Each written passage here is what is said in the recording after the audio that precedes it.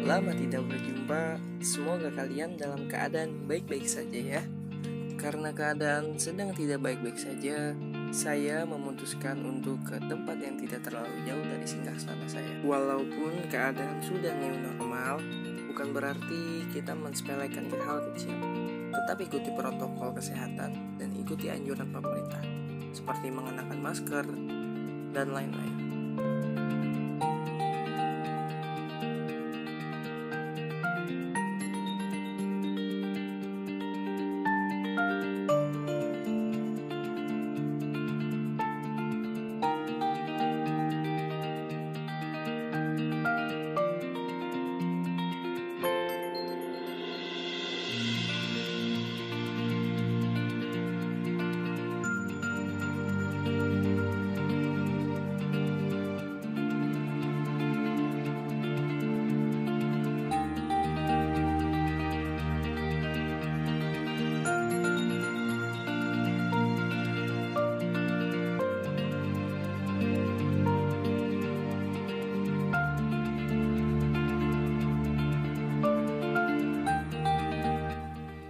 Waktu tempuh perjalanan kami menuju tempat tujuan kurang lebih memakan waktu 2-3 jam.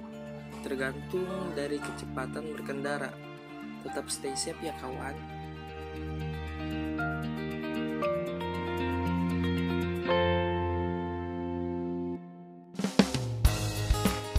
Setelah sekian lama perjalanan Kami memutuskan untuk beristirahat sejenak Bukankah berjuang dalam cinta pun butuh istirahat juga?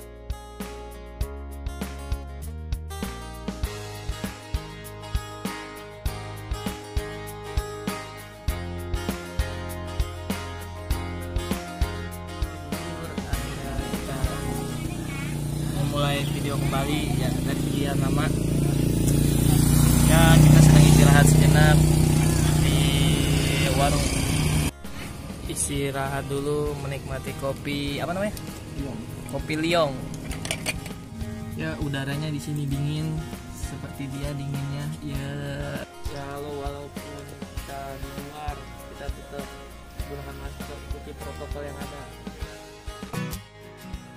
Akhirnya kita tiba di tempat wisata tersebut yaitu bernama Curug Cigamea.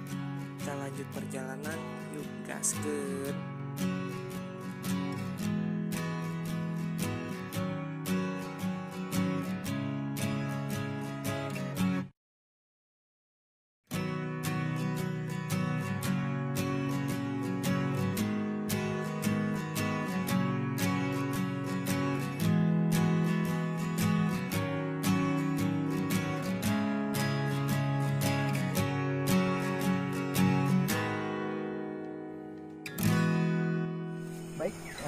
Untuk perjalanan kali ini kita akan ke Curug Cigamea yang di mana katanya sih curug ini sangat bagus lah.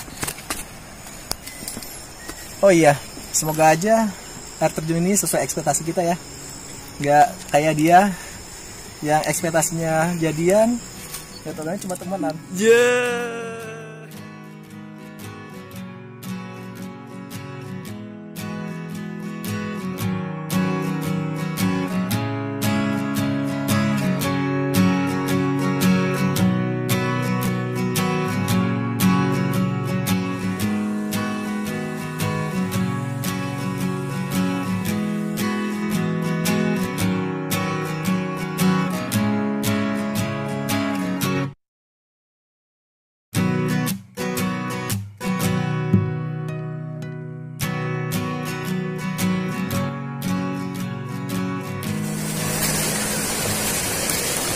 Oke, guys, ini akhirnya kita sampai nih di Curug Cigamea dan bisa dilihat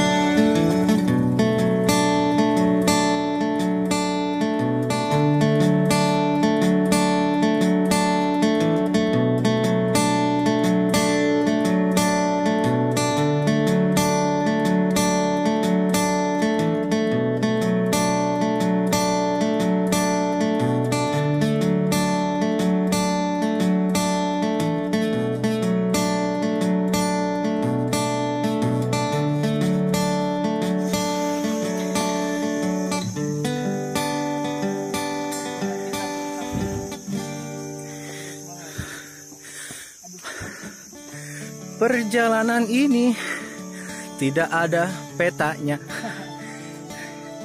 Ini nggak tahu kita mau ke mana.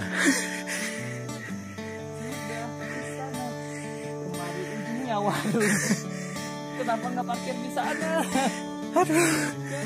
Ya namanya juga orang awam.